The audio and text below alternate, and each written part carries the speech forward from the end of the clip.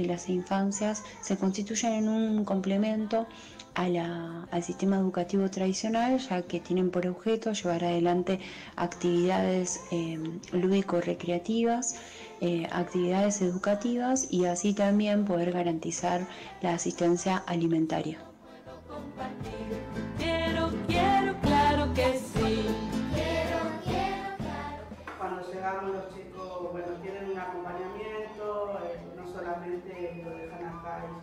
Nosotros le damos contención, aprendizaje.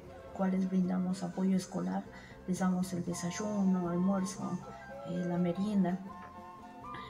Y, eso es lo que a nosotros más nos, a las compañeras que trabajamos nos gusta.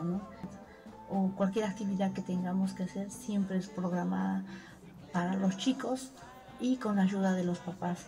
Es decir, que no siempre estamos metidas las educadoras, nosotros ahí trabajando, ¿no? Sino que las mamás también son parte de, de nosotras, que pueden venir ellas y ellas saben muy bien y se quedan más satisfechas al, al cuidado de nosotros y dejan a sus niños. Los jardines populares del FOL nacen hace más de 10 años. Los mismos se constituyen en espacios de cuidado en tanto las propias compañeras son quienes que las construyen y sostienen cotidianamente. Los mismos nacen con un objetivo central de cuidar, el cual se va a ir desarrollando, reorganizando y repensando en la medida en que dicha construcción se va llevando adelante en el territorio. Esta demanda nace originalmente en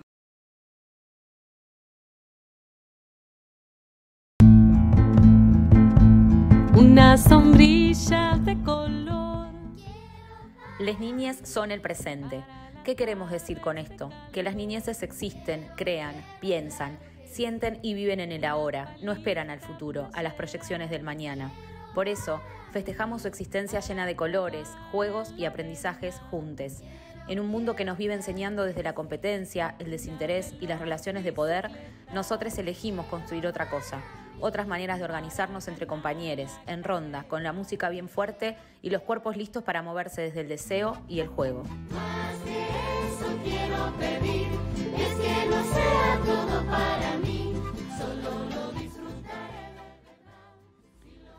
El proyecto Luchar, Crear Educación Popular intenta analizar cuál es el trabajo que realizan las unidades de desarrollo infantil en nuestros territorios nos interesa conocer la experiencia de la educación popular y el impacto social que tiene en nuestra localidad.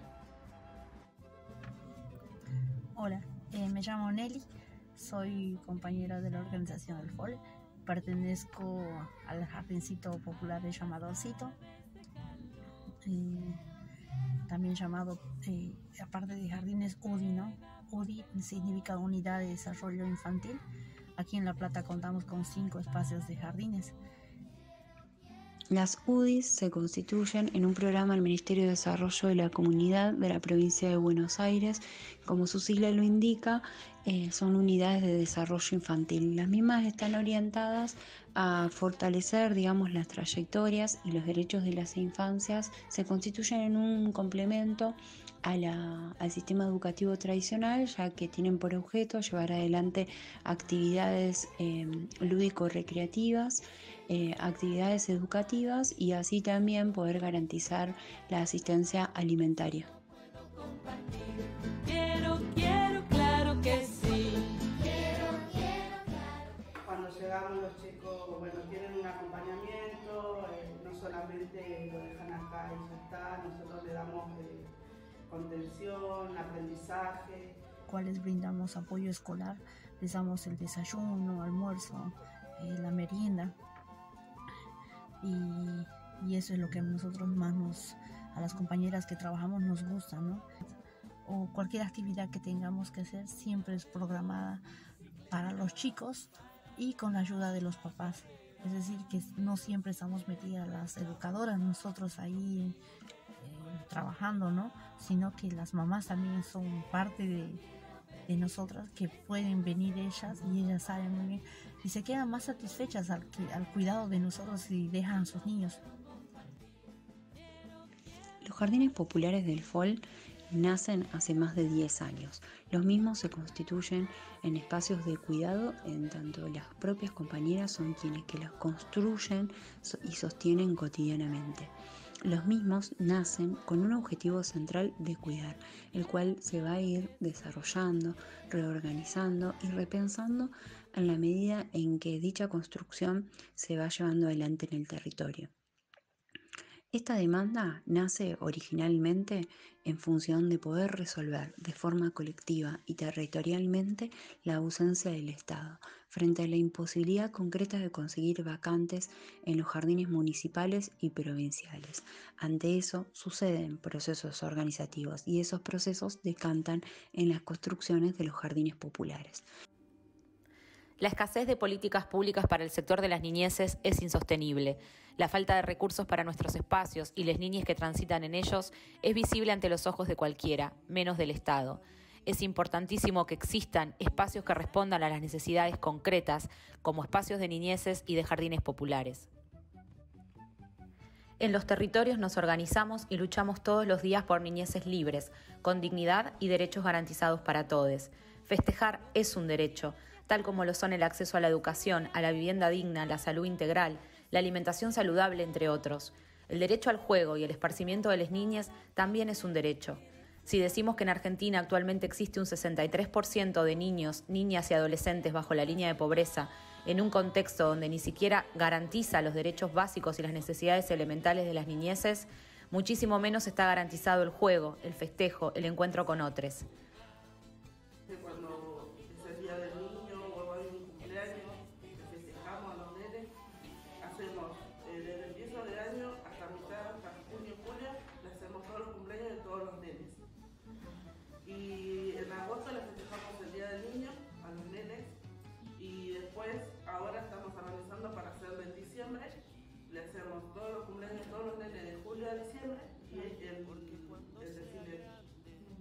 Nuestras educadoras populares tienen un rol central, en tanto no solo acompañan las crianzas y distintos proyectos educativos, sino también que tienen el rol central de poder, como tales, formarse. En ese sentido, llevamos adelante instancias de formación con distintas universidades, con distintos programas estatales y con distintos profesionales que colaboran con nuestra organización. Eh, nosotras las compañeras que trabajamos acá en los jardincitos, al año tenemos como tres a cuatro capacitaciones eh, o, recibimos talleres para poder salir adelante y poder sacar a los chicos y no se pueda aburrir y podamos nosotros cómo manejarnos con los chicos. Este último fuimos a dar los talleres de Yo sí te creo del 19 de noviembre que fuimos a dar a los diferentes espacios de jardines acá en La Plata para poder visibilizar. No nos quieren separar,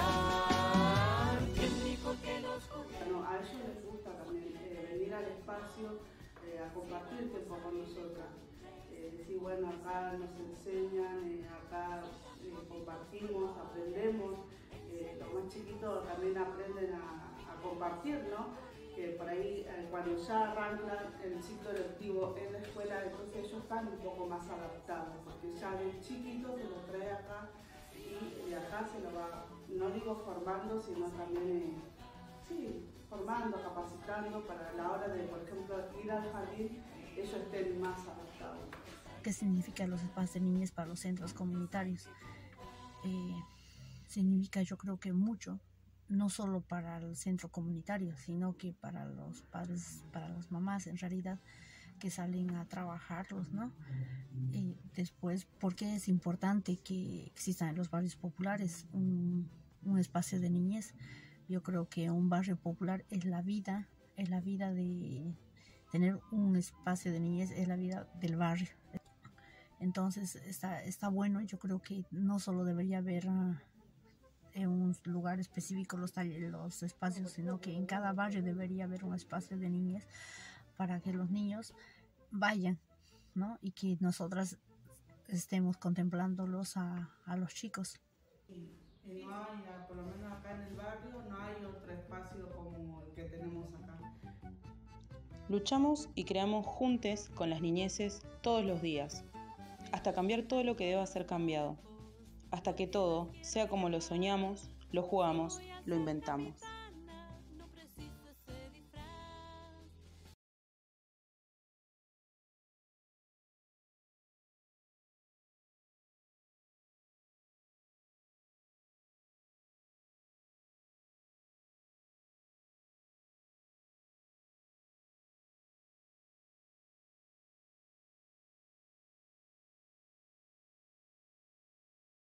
Teniendo 13, 14 años, ya empiecen como a poder verlo como una problemática real, nos parecía re importante, porque además son sus propias madres a veces quienes llevan a, los niños y a las niñas a esos lugares, ¿no? que como decían las compas, tiene que ver un poco con poder pensar también en la realidad concreta de nuestras compañeras o vecinas del barrio que necesitan para ir a trabajar, poder dejar en algún espacio ¿sí?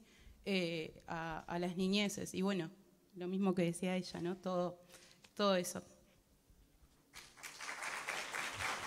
Bueno, así es crecer también en comunidad, ¿no?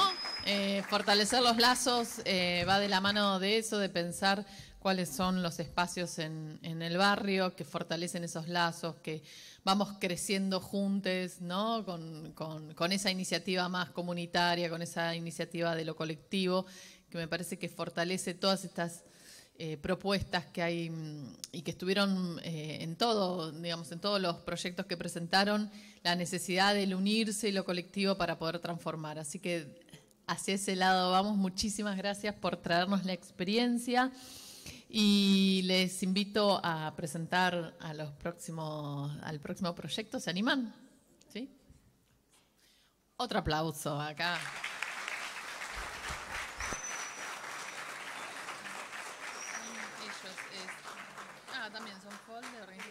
pero de Ringelet.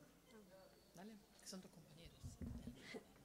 Eh, los invito a pasar a FOL, Organización Social de Ringelet La Plata.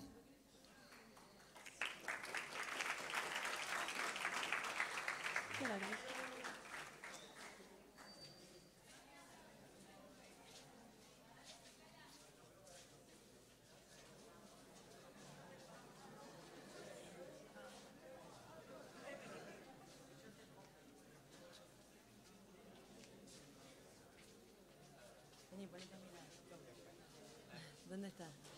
¿Quién? Ana. ¿Ana quién? Ana. Ana. Ana. Ana. Ana. Ana. Vení, quédate cerca. Acá, vení.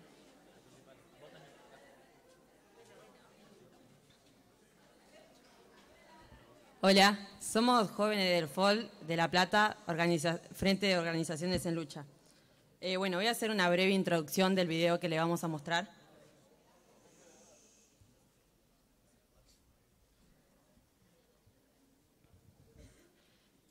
El proyecto que vamos a presentar a continuación se llama El agua vale más que todo.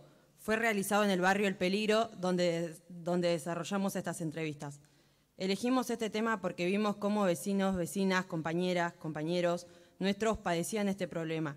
Sufrían del acceso, acceso al agua potable y no solo contaban con una red de agua contaminada. Esto hace que la gente sufra de enfermedades a causa de eso y esas personas eh, solían tener eh, síntomas eh, como fiebre, dolor de panza. Eh, las personas que van a ver en el video las entrevistas fuimos nosotros los que les entrevistamos.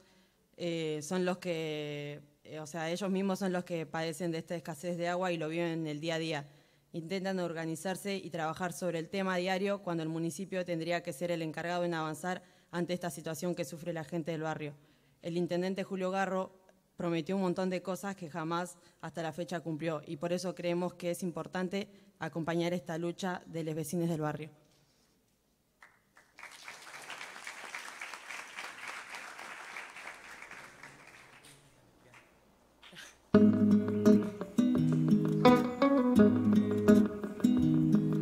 Fondo de las Naciones Unidas para el Desarrollo de la Infancia y la Organización Mundial de la Salud estiman que más de 780 millones de personas no tienen acceso al agua para el desarrollo de la infancia y la Organización Mundial comenzó la pandemia, estiman que cada 780 millones no podían lavarse las manos con agua acceso al agua en sus hogares. Las enfermedades diarreicas son la tercera causa de morbilidad y la quinta causa de mortalidad en todo el mundo. En todo este contexto, las infancias son las principales víctimas de las enfermedades diarreicas. Beber agua contaminada es responsable de 200 muertes por hora entre las niñas del mundo en desarrollo. En cuanto a las niñas menores de 5 años, para el las enfermedades diarreicas son responsables del 16% de las muertes en todo el mundo y son la segunda causa de muerte después del acceso al agua potable. Menos del 1% de los recursos hídricos del planeta pueden ser utilizados por los seres humanos. Además, el 80% del agua disponible es utilizada por la agricultura, la ganadería y la producción de energía, lo que agrava aún más la escasez de agua en el mundo. El 80% de las enfermedades y un tercio de las muertes en los países en desarrollo se deben al consumo de agua contaminada. Las enfermedades relacionadas con el agua son responsables de más de 5 millones de muertes por año. El Fondo de las Naciones ¿Y qué pasa Unidas para el el Desarrollo de la Infancia y la Organización Mundial de la Salud estiman que más de 780 millones de personas no tienen acceso al agua potable. Cuando comenzó la pandemia, 3 de cada 10 personas del mundo no podían lavarse las manos con agua y jabón en sus hogares. Las enfermedades diarreicas son la tercera causa de morbilidad y la quinta causa de mortalidad en todo el mundo. En todo este contexto, las infancias son las principales víctimas de las enfermedades diarreicas. Beber agua contaminada O sea que el agua que ustedes consumen hoy 200 está contaminada. hora entre las niñas del mundo en desarrollo. En cuanto a las niñas menores de 5 años, las enfermedades diarreicas son responsables del 16% de las muertes en todo el mundo y son la segunda causa de muerte después de la neumonía. Menos del 1% de los recursos hídricos del planeta pueden ser utilizados por los seres humanos. Además, el 80% del agua disponible es utilizada por la agricultura, la ganadería y la producción de energía, lo que agrava aún más la escasez de agua en el mundo. Van a buscar el agua ahí. El 80% de las enfermedades un tercio de las muertes en los países en desarrollo se deben al consumo de agua contaminada. Las enfermedades relacionadas con el agua son responsables de más de 5 millones de muertes por año. ¿Y qué pasa mientras tanto en nuestros barrios populares?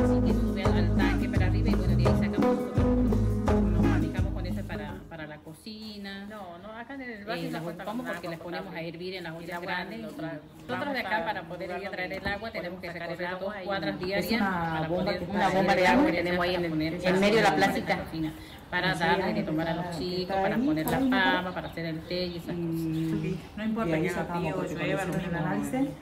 Digamos acá mismo la mayoría de las napas están contaminadas el agua. O sea que el agua que ustedes consumen hoy eh, está contaminada.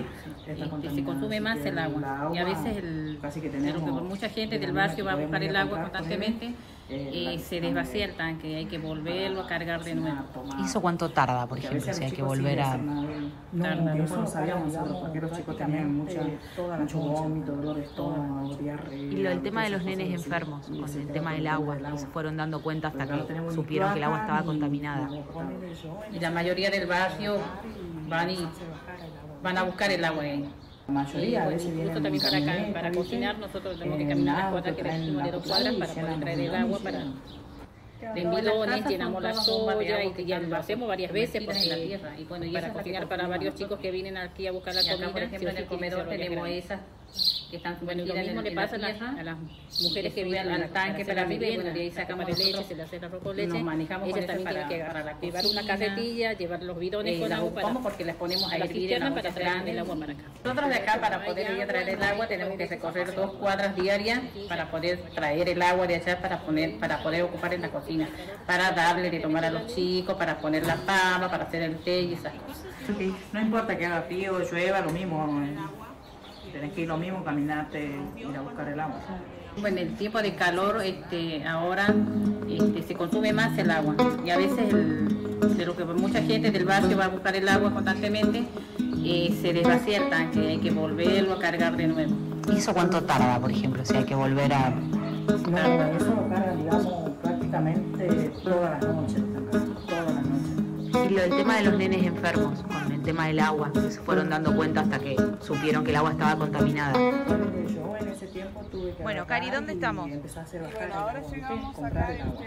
Y bueno, incluso también para, ca- para cocinar nosotros tenemos que caminar las cuadras que le dijimos de dos cuadras para poder traer el agua para en bidones, llenamos la soya y, y lo hacemos varias veces porque para cocinar para varios chicos que vienen aquí a buscar la comida, sí o sí tiene que ser ollas grandes. Bueno, y lo mismo le pasa a las, a las mujeres que vienen en la- para hacer la merienda, la copa de leche, se le hace el arroz con leche, ellas también tienen que llevar una carretilla, llevar los bidones con agua para a la cisterna para traer el, el agua para acá. No hay agua, no hay copa de leche, a buscar agua para poder consumirla. ¿Y este lugar quién lo cuida? Este lugar lo cuidamos nosotros, los vecinos, entre todos. Eh, ¿Cuánto tiempo pasaron Como verán, en- eh, ya está en como no tener agua? bastante Eh, no un ejemplo. Se rompió, ¿cuántos días pasaron de que ¿Días o se cuide lo más que se pueda porque es lo que contamos para que los vecinos puedan tener agua potable más para los niños que de calor de, de problemas de gastroenteritis y también mucho vómito para que de acá del barrio. Así que los vecinos estamos una manera seria para poder Cari, ¿dónde estamos? Y bueno, ahora llegamos acá, este el pozo que abastece a todo el barrio, acá sí, acá en el barrio El Pelino, a casi 4.000 familias. Es el único pozo que tiene agua potable, ya que la mayoría de las casas tienen pozo de agua, pero están todas las napas contaminadas,